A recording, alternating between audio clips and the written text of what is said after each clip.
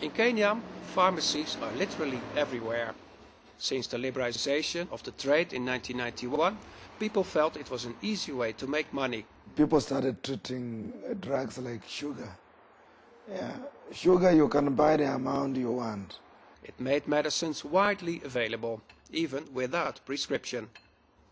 Even stronger drugs like antibiotics are sold over the counter and then often used without any real need and often in too large doses.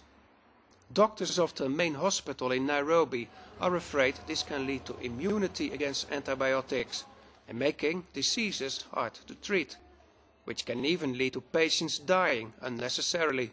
Because you assume the drug is sensitive, but after some time you realize, no, it is not. But you have wasted time, so you lose the patient. Meanwhile, drug manufacturer GlaxoSmithKline in Kenya stepped in with the campaign Crush the Resistance. GSK wants to teach consumers and healthcare professionals to be careful with prescribing and selling antibiotics. The company has a big interest in crushing the resistance, or otherwise could be forced into expensive solutions. Then you have to invest in research, in new, in new drugs, which takes time and is a lot more costly.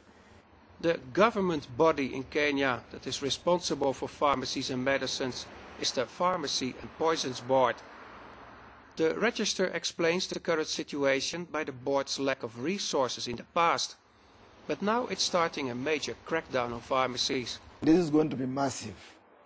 Those who don't have licenses or those who are doing malpractice, dispensing without prescription, Eh, are going, are going to, to, to be taken to court. Some 50 additional inspectors are appointed for the job. It might take some time to finish, since there are over 3,000 pharmacies in Kenya. This is Ruud Elmendorp, reporting from the capital, Nairobi.